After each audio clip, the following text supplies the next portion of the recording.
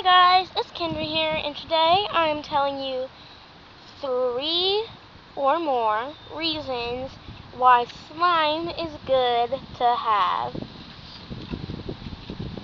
Right here, I have some pink slime made out of sparkly Elmer's glue, and it is very relaxing, and it has glitter in it, but I don't know if you guys can tell but it is really good to play with, and I love it so much.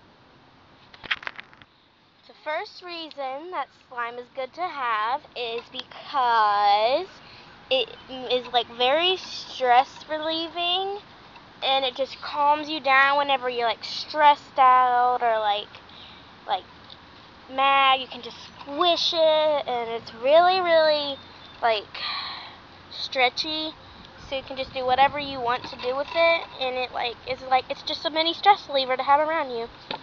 The second reason to have slime around is because whenever you are just like bored, you can just play with it and you'll like just not be bored anymore and you can just do whatever you want with it and it's just so fun.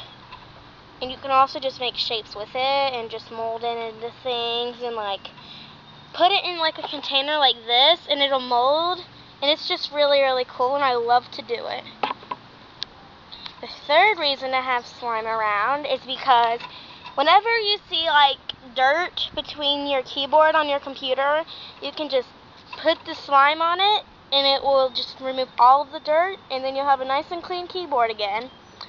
And also whenever you like see like dust, dust or something on your desk or on the wall, you can just glob it up with slime. But I don't want to do it with this slime because I love to play with this slime.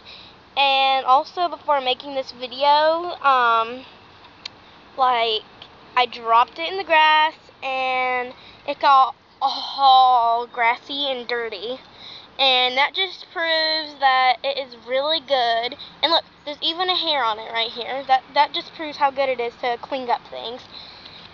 And also, um, I will do a video maybe later, like not today, but like later in a different video.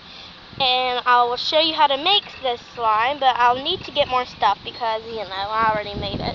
And also, if um, you drop your slime and you're like, OMG, it's so dirty now. What you do is you just run it under some water. It might not work though if there's hair on it. You'll have to just take it off. Or maybe you can you can even use a lint roller to get the hair off. I don't know. It might work.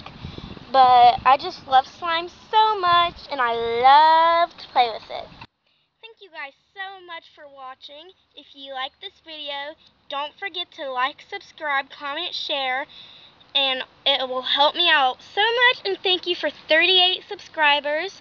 It means so much to me. I hope you guys have a wonderful day, and goodbye!